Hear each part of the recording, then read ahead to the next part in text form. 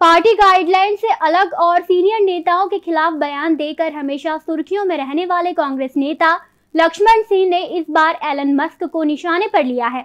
लक्ष्मण सिंह ने कहा है कि एक विदेशी को भारत के मामलों में दखल देने का कोई हक नहीं है।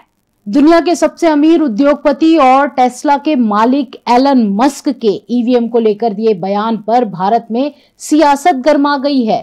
मस्क के बयान के बाद राहुल गांधी ईवीएम को ब्लैक बॉक्स बता रहे हैं। तो वहीं मध्य प्रदेश कांग्रेस अध्यक्ष जीतू पटवारी ने भी सवाल उठाए हैं।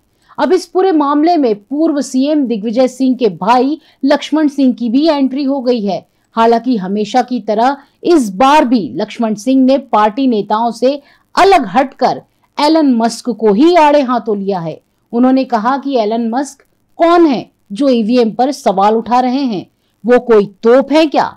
हिंदुस्तान की अपनी एक प्रणाली है। एक विदेशी कोई बयान दे देता है, उस पर भूचाल आ जाता है। लक्ष्मण सिंह ने कहा कि हमारी अपनी व्यवस्था है। अगर ईवीएम में कोई कमी होगी तो उसे एलन मस्क सुधारने नहीं आएगा।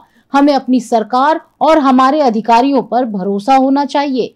वहीं मध्य प्रदेश कांग्रेस में बदलाव को लेकर लक्ष्मण सिंह ने जीतू पटवारी को नसीहत देते हुए कहा कि नेतृत्व के बदलाव से कुछ नहीं होगा। बदलाव की ज़रूरत संगठन में है। अगले पाँच सालों में संगठन की मजबूती पर काम करने की आवश्यकता है।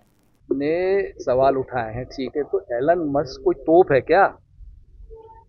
अरे, हिंदुस्तान की एक प्रणाली है, और अगर है तो उसमें हम फेंकेंगे हमारी बात है, एलन मस्क कौन है? हम लोग, एक विदेशी कोई, ऐसा कोई बहुत धनवान कोई बयान दे देता है, उस पर भूचाला जाता है। अरे, हमारी अपनी व्यवस्था है, अगर कुछ कमी भी होगी ईवीएम में तो सुधारेगा कौन? Elon Musk सुधारेगा?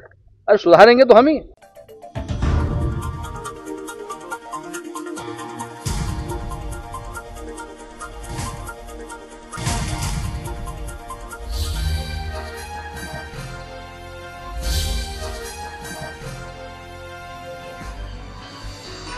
आप देख रहे हैं दखल न्यूज़।